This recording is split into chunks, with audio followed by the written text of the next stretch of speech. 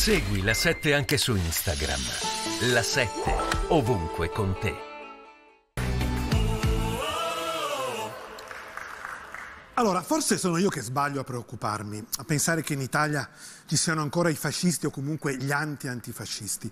Forse ha ragione chi dice che alla prima della scala il logionista Marco Vizzardelli avrebbe dovuto semplicemente gridare viva l'Italia. In fondo quella giunta antifascista suona persino superflua, no? considerando che l'antifascismo è il valore fondante della nostra comunità nazionale. Ho persino provato a buttarla sul ridere pensando a quel poliziotto della Digos che, non avendo il telefono funzionante, chiede all'identificando di autoidentificarsi, gli dà il proprio numero di telefono privato o segretato, chi lo sa, e gli chiede di mandargli la foto della sua carta di identità, come si fa fra amici.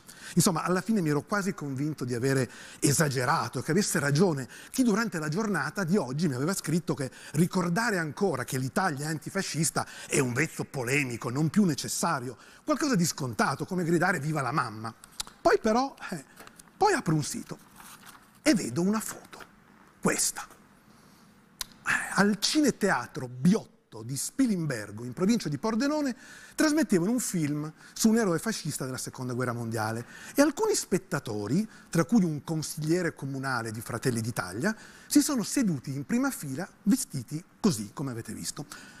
Allora mi viene il dubbio che forse non ho esagerato, allora forse vale ancora la pena dirlo. Anzi, sapete che faccio? Lo dico. E nel dirlo mi identifico, bisogna fare così, estraggo, ecco vedete qui ho la carta d'identità, sono Massimo Gramellini.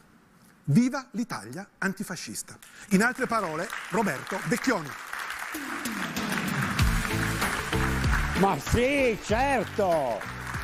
Non, certo. non mi trattare così. Certo. Non mi maltrattare, ho lasciato il copione là, torna. Dove vai? Non e mi sono emozionato. Eh... Non è arrivata la Digos, non ti preoccupare.